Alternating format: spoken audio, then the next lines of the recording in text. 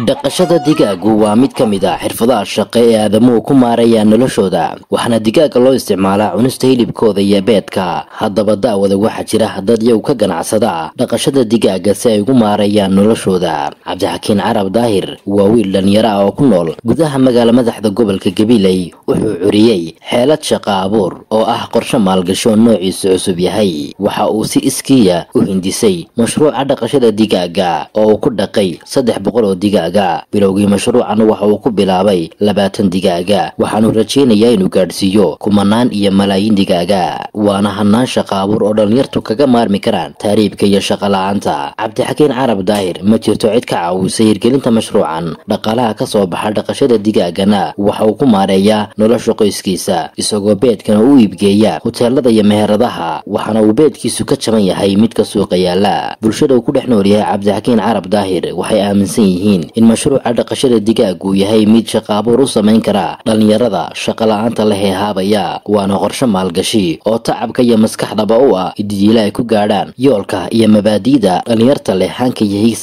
ee doonaya inay sameeyaan dhaqaale. Cabdixakiin carab daahir oo cotisaha muraayadda qaranka ugu waramayey hoyga uu ku dhaqo digaaga ayaa wuxuu baaqu diray hay'adaha maalgeliya mashruuca dhaqashada digaaga inay ka caawiyaan shabaga lagu xidho digaaga iyo mashiinada lagu bacarimiyo si uu u ballaadhiyo taranka iyo kobcinta mashruucani waxaanu yidhi.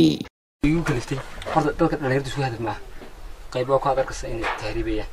Ani markaa waxay igu kaliftay inaan dalkayga wax ka qabsado aan wax kala soo baxo.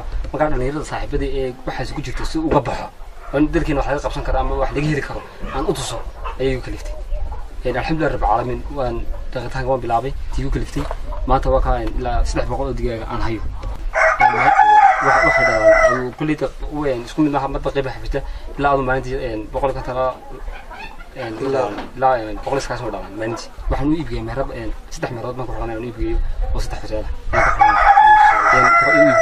sidee lagaga iibsadaa bad maanaysa si fiican bii iibsadaan. Xitaa anigoo waqtigii gaarin bay soo weydiiyaan soo karaan anoo beedkii maalintan ku dhaadaan u geeya si fiican meheradaasna waxay iibsadeen beed aad bay iibsadeen waxaan doonayaa inaan dhalinyarta tan ugu talagalay in wax laga soo bixi karo dhulkeena aan gaadhin laakiin weli ma gaadhin cuntada lahaa midda koobaad horta waxaan u baahnay dawooyin si dawooyin baan baahanay waayo marka intan in leeg baa doonayaan gaadhsiiyo marka waxaan ugu dhalan karaa.